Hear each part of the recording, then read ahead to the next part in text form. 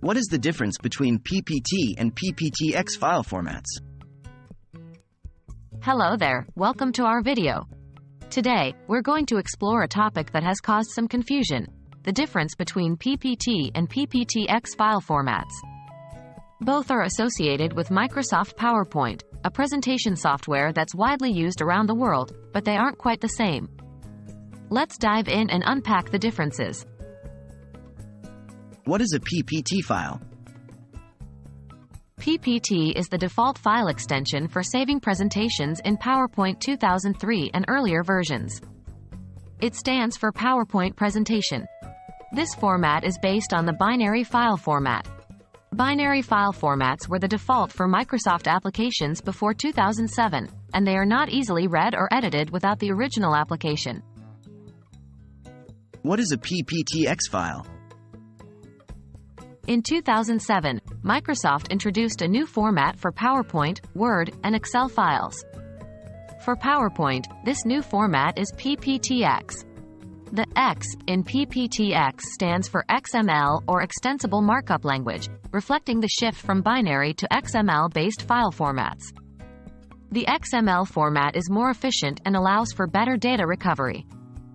Plus, because XML is a text-based format, it's more accessible to other applications, making these files easier to read and edit without PowerPoint. Why the change from PPT to PPTX? Microsoft made the shift for a few reasons. First, XML-based formats are more efficient and result in smaller file sizes, which is a big plus when you're dealing with large presentations. Second, the XML format allows for better interoperability with other software and data systems.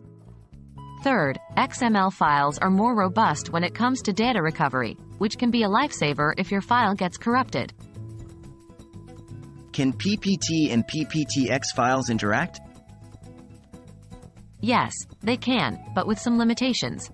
PowerPoint 2007 and later versions can open and save both PPT and PPTX files. However, if you save a PPTX file as a PPT, you may lose some features and formatting that are only supported in the newer format. Conversely, earlier versions of PowerPoint, 2003 and earlier, can only open PPTX files with a compatibility pack installed.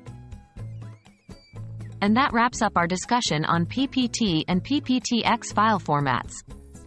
The key takeaway is that PPT is an older, binary format, while PPTX is a newer, more efficient XML-based format. Always consider the version of PowerPoint you or your audience are using to ensure your presentations open smoothly. Choosing the right file format can make your life easier and prevent any unwanted surprises. Thank you for tuning in, and we hope you found this information helpful. See you in our next video.